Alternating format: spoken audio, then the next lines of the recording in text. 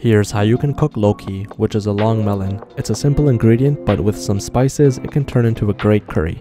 Start by chopping up your Loki into smaller pieces along with tomatoes and onions. In a pan, add ginger, turmeric, and garlic paste and brown up your onions. Then you can add in your tomatoes with cumin seeds. Now add in your Loki, give it a mix, and begin adding in chili powder, dried fenugreek seeds, black peppercorn, cinnamon, black caraway seeds, and salt. Add a bit of water, cover for 10 minutes, and that's it. It's crazy how we got this from this.